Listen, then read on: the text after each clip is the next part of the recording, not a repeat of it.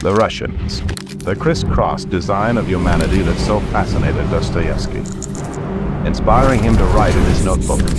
I like, when roaming the streets, to look attentively at certain wholly strange passers-by, study their faces, and speculate. Who are they? How do they live? What is their occupation? What are they thinking? What do they say? Dünyada adından söz ettiren pek çok ülke ve bu ülkelere ait göz kamaştırıcı başkentler var. Bir ülkenin başkentinin cezbedici olması için de bazı öne çıkan özelliklere sahip olması gerekiyor. Mesela orası çok iyi mimarilere sahip olan ve bir o kadar da göz alıcı insanlara sahipse iyi bir şehir olma yolunda önemli avantajlara sahiptir. Bunun yanı sıra şehrin güvenli olması ve yeterince iş olanağına sahip olması insanların o bölgeye yönelmesinin önünü açar. İşte onlardan bir tanesi de Moskova.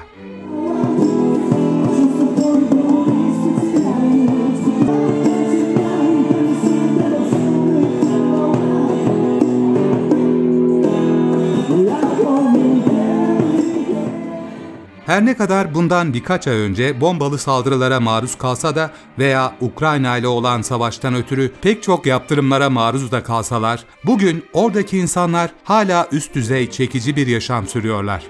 Bir ülke savaşta olmasına rağmen başkentleri nasıl bu kadar temiz ve düzenli olabilir diyorsanız, Ruslar bunu bir şekilde başarmışlar ve oradaki hayatın canlılığını hem kışın hem de yazın korumayı başarıyorlar.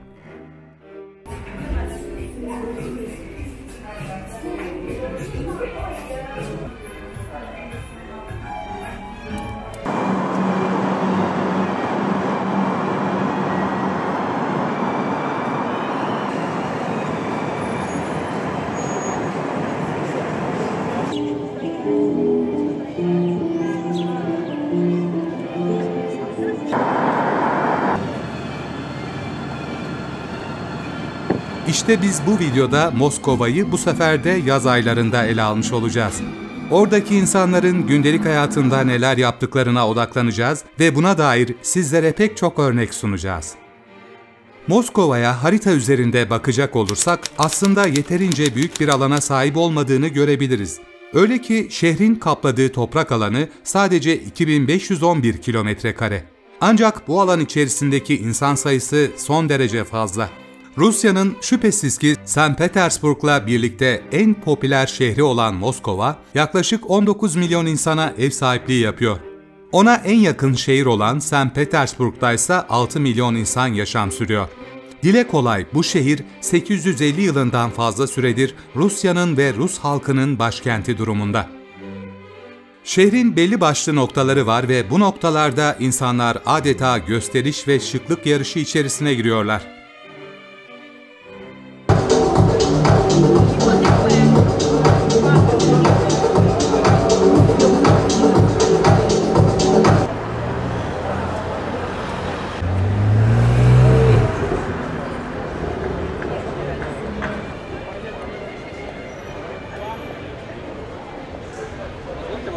Rusların kendi içerisinde sürekli üstünlük yarışları var.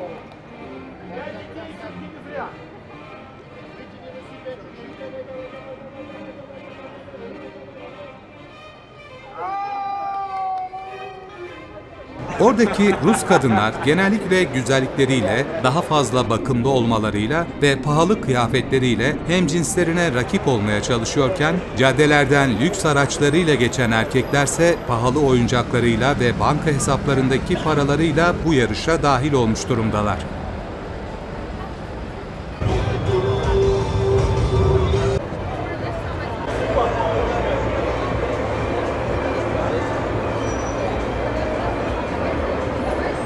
Dünyada gösterişi ve pahalı hayatları seven ülkeleri düşünürseniz bu topraklardan en çok öne çıkan şüphesiz ki Ruslardır ve diğer Slav ülkeleridir. Mesela daha batıdaki Avrupalılar da benzer genetiklere sahipler fakat onların tüm hayatı dış görünüş ve gösteriş üzerine kurulu olmuyor. Batı Avrupalı insanlar aynı zamanda eğitimlerine ve kariyerlerine de büyük özen gösteriyorlar. Fakat pek çok Rus kadını bilimle ve ömür boyu kariyerle uğraşmak yerine hayat gayelerini farklı alanlara yönlendiriyorlar. Hayatlarını yıpratıcı, emek gerektiren şeyler üzerine değil, daha çok kısa yoldan lükse ve gösterişe ulaşmaya adıyorlar. Örneğin pek çoğu 30'lu yaşlarından sonra zengin bir erkekle evlenip ömür boyu rahat yaşama derdindeler. Ayrıca Rus toprakları yazın bile soğuk havalara maruz kaldığından oradaki insanlar sıcak iklimlere göç etmeye de olumlu bakıyorlar. Bundan ötürü de Rusların sık sık ülkelerinin dışına kalıcı olarak göç ettikleri biliniyor. Onlar deyim yerindeyse dünyanın her yerindeler. Başta Dubai, Türkiye ve Bali gibi Asya bölgeleri olmak üzere kendilerine pozitif yaklaşan insanlarla sıcak yerlerde yaşamayı tercih ediyorlar. Fakat her ne kadar göç ederlerse etsinler, Rusya çok büyük bir ülke olduğundan ve 150 milyon insanı içerisinde barındırdığından Moskova'yı her zaman canlı ve hareketli bulacaksınız. Bugün sadece Moskova'da 20 milyona aşkın insan yaşam sürüyor. Bu yoğun nüfusu küçük bir alana sığdırabilmenin yoluysa elbette yüksek katlı gökdelensi yapılar inşa etmekten geçiyor. Rusya'nın bu can alıcı şehrinde yüzlerce yüksek binalar görebilirsiniz. Durumu normal standartların biraz iyisi olan ortalama daire kiraları ise 100 bin rubleden başlıyor. 200 bin rubleye tutacağınız 2 veya 3 odalı bu dairelerin dolar karşılığı bedeli ise minimum 1000 dolar dostlarım. Dolayısıyla Rusya'da ve Moskova'da yaşama düşünceniz varsa, dünyanın milyarderlerini içerisinde barındıran bu şehirde yaşamanın bedeli aylık en az 3000 dolar bandında seyrediyor. Eğer siz oradayken geçinmenin ötesini amaçlıyorsanız ve bu güzel Rus insanlarıyla aktif bir sosyal ortam arıyorsanız, işte o zaman on binlerce dolara ihtiyacınız olabilir. Öyle ki Rus insanları ve özellikle Rus kadınları kendilerini çok değerli ve kıymetli görüyorlar. Pek çoğu dünya genelinde ilgi odağı olduklarının farkındalar ve Rus kimliklerinin onları güzel kadın olarak çağrıştırdığını biliyorlar. Bu yüzden de elit bir Rus kadınının sizden maddi beklentileri de son derece fazla olacaktır. Öte yandan dünyadaki başkentlerin neredeyse yarısından çoğunun denize kıyısı var. Ancak Moskova'nın denize herhangi bir yakınlığı bulunmuyor. Şehrin içinden Moskova Nehri dedikleri bir nehir akıyor ve bu nehir gerek kışın gerekse yazın Rus insanlarının huzurlu vakit geçirdiği bir dinlenme alanı tadını veriyor. Şehrin göbeğini yarıp geçen bu nehrin üzerinden kara bağlantıları sağlayan minik köprüler inşa edilerek insanların hizmetine sunulmuş. Nehirlerin varlığından da anlayacağınız üzere şehir geniş bir ova üzerine kurulmuş. O meşhur Moskova Kremlin Sarayı ise şehrin en orta ve en göbek kısmına konumlandırılmış. Bu saray Rusya'nın en büyük simgelerinden bir tanesi ve Rusya'ya giden hemen herkesin Moskova Kremlin Sarayı'nın önünde çekilmiş bir fotoğrafı vardır. Bugün Putin'in resmi makamı da yine Kremlin Sarayı'dır. Burası yüksek mahkemelerin, ülkenin yönetim merkezinin ve zengin oligarkların şehri olduğundan şehirde siren çalan ve trafiği kilitleyen lüks makam araçlarını sık sık görebilirsiniz. Rusya'da Kremlin adında pek çok saray olduğunu da ayrıca belirtmiş olalım. Kızıl Meydan'da elbette başkentte yer alıyor ve bu meydanın çevresi Arnavut kaldırımlı yollarla döşenmiş ve etrafta tek bir çöp yok. Kızıl Meydan, Rusya'ya ve Moskova'ya gelen turistlerin en çok vakit geçirdiği popüler bölgesidir. İşte bütün dünyanın gündemini belirleyen ve her hamleleri birer haber niteliği taşıyan Rusya'nın can damarı şehrindeki mimariler işte böyle bir zemin üzerine kurulu. Ayrıca Rusya'nın kendi içerisinde çok büyük bir nüfusa ve zengin kaynaklara sahip olması onları dışa bağımlı olmaktan kurtarıyor. Bu nedenle başkentleri yılın hiçbir zamanı ıssız ve sessiz bir yer değil. Bunun en büyük göstergesi Moskova'da hiç bitmek bilmeyen festivallerin düzenleniyor olmasıdır. Eğer şanslıysanız oraya gittiğinizde bu gibi göze hitap eden festivallere denk gelebilirsiniz.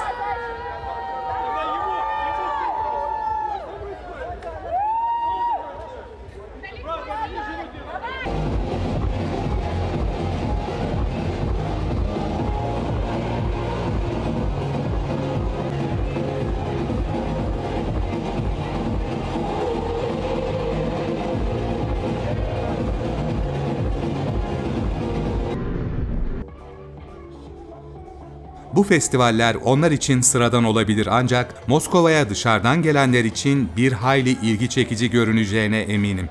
Bugün dünyanın büyük çoğunluğu hala yaz aylarını yaşıyor ve Moskova'da da şu an için insanlar kısa kollularla gezmeye devam ediyor. Size orada akan hayatı birazcık gösterecek olursak, şehrin hem gündüz hem de akşam aşırı derecede canlı olduğunu söyleyebiliriz. Savaşın etkilerine rağmen Moskova'da aktif ve rahat bir yaşam söz konusu. İnsanlar arkadaş gruplarıyla Moskova sokaklarını dolduruyorlar ve neredeyse kimse yalnız gezmiyor. Bazıları arkadaşlarıyla banklarda oturuyor, bazıları kafelerde birbirlerine heyecanlı bir olay anlatıyor, bazıları ise yollarda fotoğrafçılara fotoğraf çektiriyor. Fotoğraf çekilme kısmı önemli çünkü Moskova'ya gidince fazla sık görmediğiniz bir olayla karşılaşabilirsiniz. Başkentin merkezinde elinde profesyonel kameralarla gezinen fotoğrafçılar var ve bu insanlar bakımlarına ve güzelliklerine bir hayli düşkün olan Rus insanlarını ücret karşılığında çekerek para kazanıyorlar. Hem çekilen insanın orada ölümsüz anıları oluyor hem de başka biri onlar üzerinden gelir elde ediyor.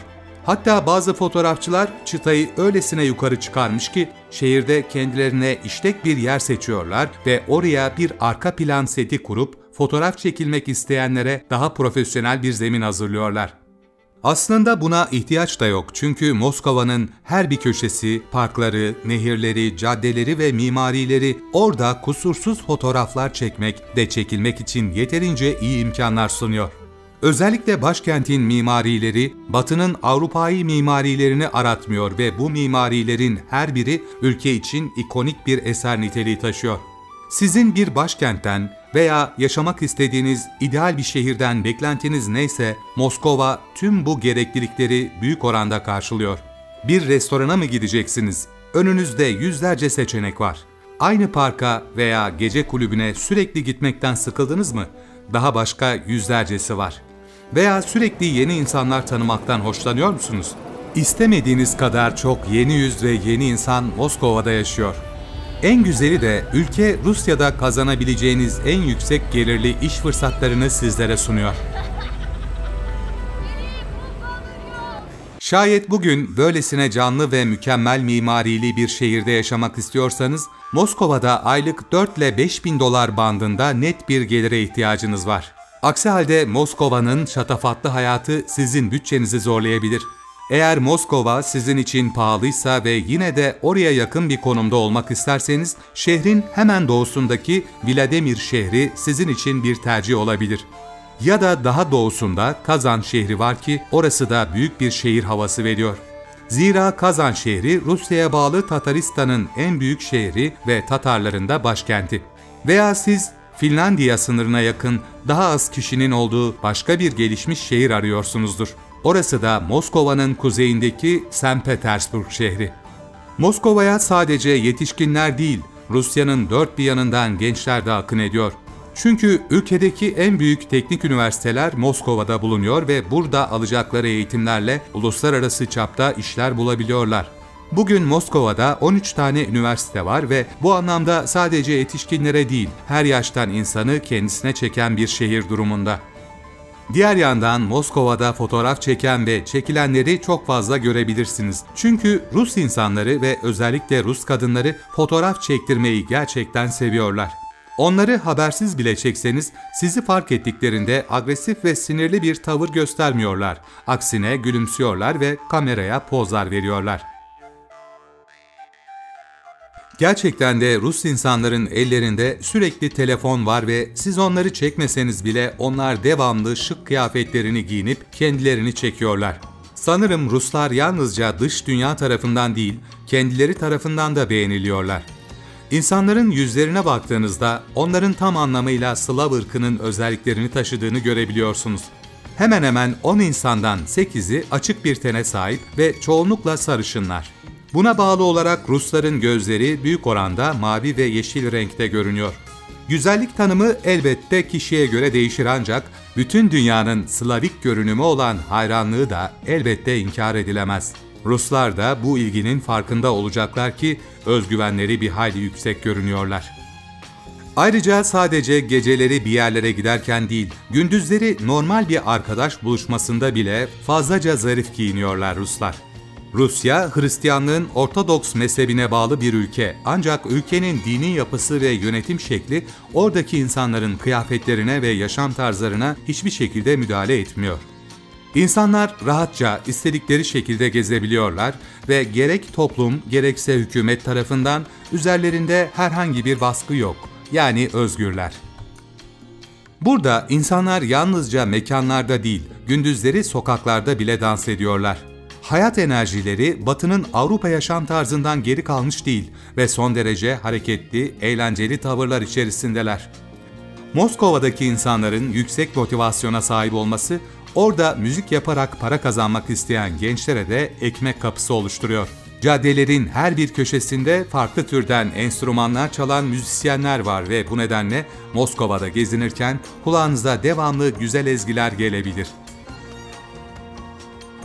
Ayrıca akşam gün batımı saatlerinde Moskova'nın kaldırımları insanla dolmaya başlıyor ve neredeyse boş bir kaldırım bulamıyorsunuz.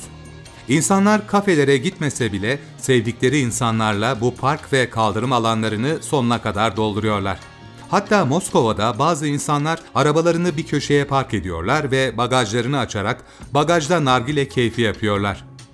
Bu ender görülen bir durum değil ve parklarda boş alan bulamayanlar nargilelerini ve içeceklerini alıp arabalarının bagajlarında açık hava keyfi yapıyorlar.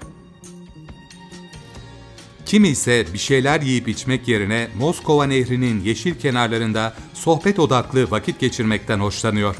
Ya da Rusların bazıları akşamları bankları farklı amaçlar içinde kullanabiliyor. İnsanların çok genç yaşta olmalarına rağmen fazlaca tütün ürünü içiyor olmaları ise Moskova sokaklarında göze çarpan başka bir detay olduğu gibi şehirde 65 yaş üzeri yaşlı nüfusu pek göremiyorsunuz. Yollarda karşınıza çıkan insan tiplerinin neredeyse hepsi 50 yaşın altında oluyor. Yaşlı insanları genellikle metrolarda görürsünüz ve yollarda pek dikkat çekmezler. Metro demişken Moskova'nın dünyanın en büyük ve en geniş metro ağlarından birine sahip olduğunu da belirtmek gerek. Bu şehir bir başkentin ihtişamına yakışır derecede detaylı bir ulaşım ağına sahip ve üstelik Moskova metroları diğer Rus metroları gibi oldukça iyi bir mimariye sahip.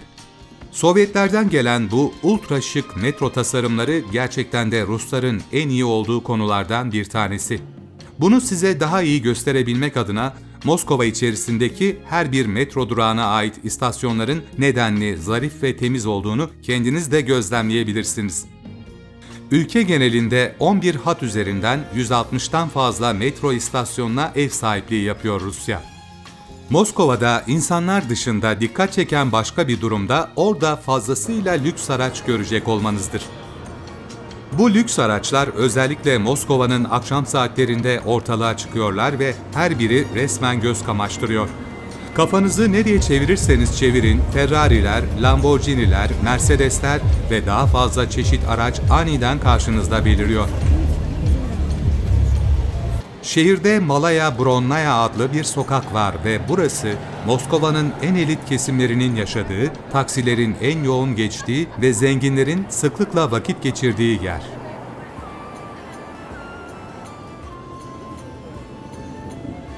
Dolayısıyla en pahalı markalaşmış alışveriş merkezleri ve en pahalı araçları Moskova'nın Malaya ve Petrovka gibi sokaklarında görebilir, akşamları o sokağın trafiğine ve insan seline kendinizi bırakabilirsiniz.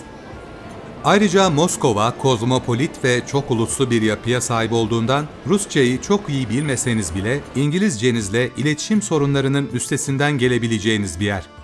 Şehrin çok uluslu bir yapıda olması, oradaki yemek kültürü bakımından da sizin ağız tadınıza uygun yemekler sunuyor. Bunun yanı sıra Moskova'nın bu işlek caddeleri, yeni evlenenlerin de en çok uğradığı alanların başında geliyor. İnsanlar düğün organizasyonlarını Moskova'nın bu elit semtlerinde yapıyorlar ve Moskova Nehri'nin etrafında birden fazla gelin ve damat ve yüzlerce davetli insanların bir arada durduğunu görürseniz şaşırmayın. Moskovalı bu Rus insanlarının düğün törenleri çalgılı, müzikli ve gösterişli değil, daha çok sade ve özel davetlilerin yer aldığı nikahlar şeklinde yapılıyor.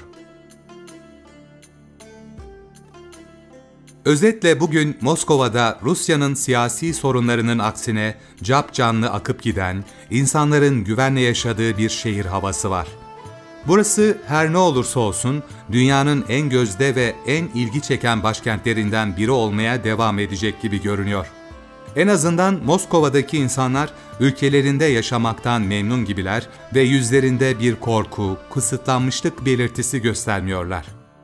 Eğer bu tarz şehir videoları hoşunuza gidiyorsa videoyu beğenerek kanala destek olabilirsiniz ve yeni videolardan haberdar olmak için ücretsiz şekilde kanalımıza abone olabilirsiniz. Hoşçakalın.